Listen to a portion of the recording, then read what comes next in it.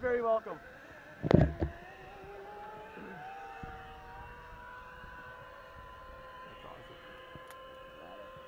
Pop up here for me.